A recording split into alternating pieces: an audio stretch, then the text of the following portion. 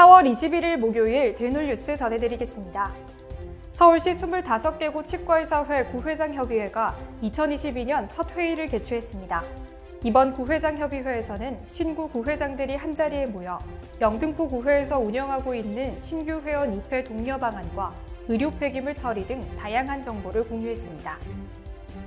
서울대 치의학대학원 박주철 교수 연구팀과 하이센스 바이오가 치주 인대세포의 조직화 및 치아 부착에 대한 기전을 규명하고 치주 인대 재생으로 치주 질환을 치료하는 물질을 제시해 눈길을 끌고 있습니다. 이번 연구 결과는 국제학술지 임상치주과학저널 온라인판에 게재됐습니다. 정부와 의료광고 자율심의기구가 의료광고 415건을 대상으로 모니터링을 실시한 결과 불법 광고 286건을 적발한 것으로 확인됐습니다. 적발 사례를 살펴보면 비의료인이 의료행위에 대해 광고하거나 비의료인을 통한 치료 경험담 광고가 85.7%에 달하는 것으로 조사됐습니다. 임플란트 치료에 불만을 품고 보상을 요구했으나 거절당하자 이상한 치과라는 팻말을 걸고 치과 앞에서 1인 시위를 한 70대가 벌금형을 선고받았습니다. 춘천지법은 명예훼손 혐의로 기소된 A씨에게 벌금 100만 원을 선고했습니다.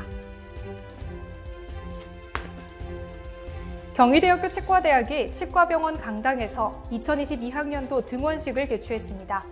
이번 등원식에서 본과 3학년 학생들은 등원 선언문 낭독을 통해 구강보건 향상을 위해 봉사를 실천할 것을 다짐했습니다. 대구시가 시민들의 치아 정보에 관한 빅데이터를 기반으로 치과 산업 플랫폼 구축에 나설 전망입니다. 이번 사업을 통해 대구시는 성별, 나이 등에 따른 표준 치아 라이브러리를 만들고 보철물과 틀니 제작에 활용할 예정입니다. 인천시 치과의사회와 인천시 교육청이 학생들의 구강 건강 증진을 위해 업무 협약을 체결했습니다. 이번 협약에 따라 인천시 치과의사회는 9개 대한학교에 재학 중인 300여 명의 학생들에게 구강진료와 구강관리 교육을 제공할 방침입니다.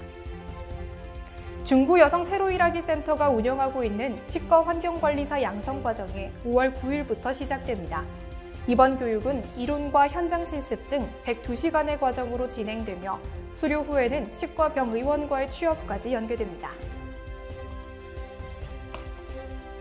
하동군이 학생들의 구강 건강 향상을 위해 올해 말까지 무료 구강 보건 사업을 실시합니다.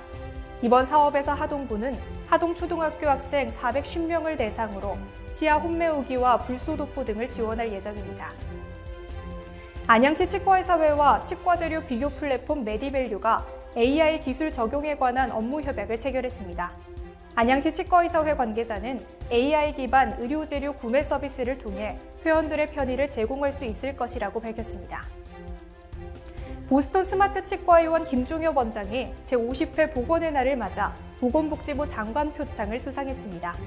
김 원장은 치과 임플란트 급여 확대에 관한 정책 제안을 집필하며 해외 강연 등 다양한 활동을 해왔습니다. 모두가 원하는 치과가 평택장애인협회에 치약 1000개를 기부해 화제를 모았습니다. 모두가 원하는 치과 홍대웅 원장은 기부한 치약은 자체 제작한 제품으로 간소하지만 큰 도움이 되길 바란다고 전했습니다. 대놀뉴스는 치과인 여러분의 제보를 기다립니다. 경조사, 인사동정, 봉사활동, 각종 행사 소식 등 치과계에 공유할 어떠한 소식도 좋습니다. 화면에 보이는 이메일이나 전화로 제보해 주시면 대놀뉴스에 반영 가능하고 우수 제보자에게 소정의 상품도 드리겠습니다. 이상으로 대놀뉴스를 마칩니다. 고맙습니다.